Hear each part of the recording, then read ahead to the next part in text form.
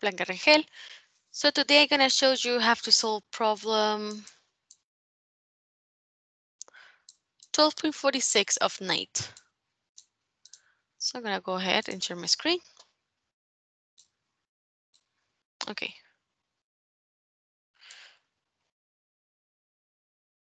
Perfect. Okay, so for problem six, we have a two kilogram, 20 centimeter turntable that rotates at 100 revolutions per minute on a friction frictionless bearings. Then we have two 500 grams blocks fall from above and hit the turntable simultaneously at opposite ends of the diameter and stick. And they stick. So I wanted to know what is the turntable's final velocity, angular velocity in revolutions per minute just after this event. Perfect, so of course we're gonna make a drawing. We'll draw the turntable in the axis of rotation. Uh, we're gonna assume that is about the center. Okay, so we have this turntable and it's rotating. Um, here it says that it's positive, so it's going to rotate counterclockwise. Okay, kind of like that. Okay, it's turning counterclockwise. Then we have two blocks just hanging here, but they're not moving. They're not rotating, so the angulars are zero. Okay, and at the end, we had the turntable.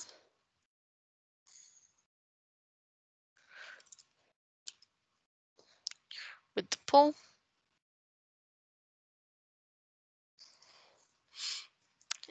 And the squares. Now everything is rotating counterclockwise. Okay.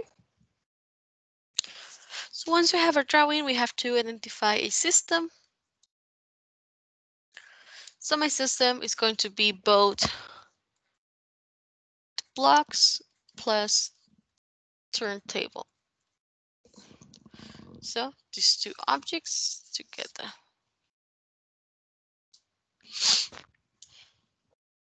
Okay. So this type of problem, since we identified the system to be these two objects, then we have no no external forces acting upon this. So if there's no external forces, then momentum is conserved. Okay, so momentum is conserved. Have my system. So now we're gonna have that linear, uh, I'm sorry, linear, angular momentum initial equals momentum final. It's conserved. Conservation of momentum. Perfect.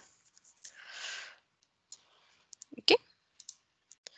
So we have a conservation of momentum. We have at the beginning, we have only one object is rotating.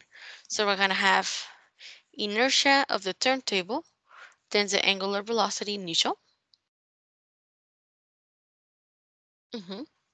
And at the end, I have one, two, three objects rotating. But they are rotating as a inelastic collision, so they all stick together and rotate together. So I'm going to have the summation of the two inertias of the blocks plus the inertia of the turntable times the final velocity. Okay. So we have these objects. Mm -hmm. So let's first find the inertia of the table. So we identify that as a cylinder or a disk about its axis on the center.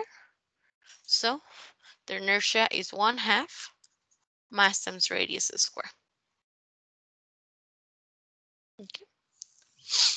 So the radius is 10 times 10 to the minus 2 meters. Okay.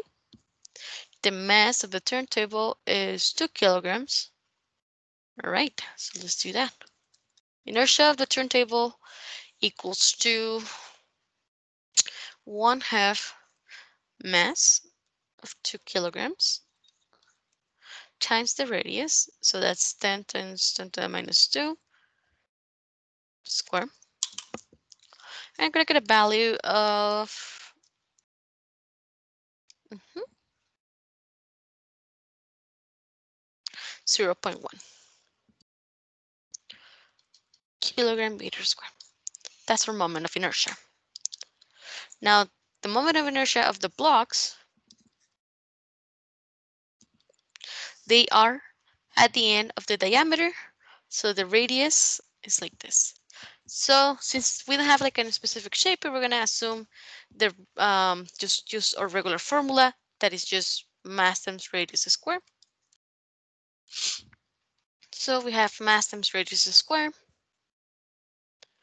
So the mass is 0 0.5 and the radius is 0 0.1. Yep. So we're going to have 0 0.5 kilograms times 0 0.1 square. So we have a momentum, a momentum of 0 0.1 square mm -hmm, times 0 0.5. Okay. 5 times 10 to the minus 3 or 0 0.05. Mm -hmm. Perfect. So we had the momentums, we have the initial RPM. So let's look for the final one. So have inertia, angular, initial. And here I'm going to divide this on both sides of the equation.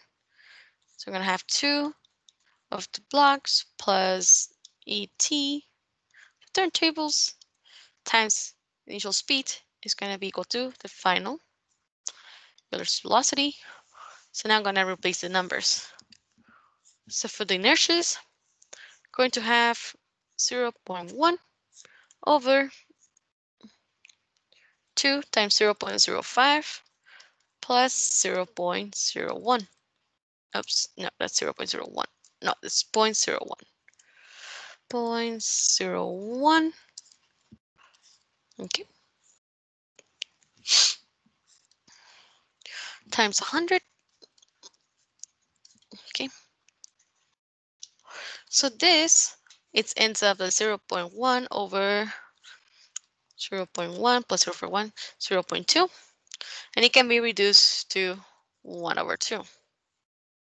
So I have 1 over 2, 100 revolutions per minute. So the final answer is 50 revolutions per minute. Okay, so that's problem six. Uh, if you have any questions, don't hesitate to contact us. Thank you. Have a nice day.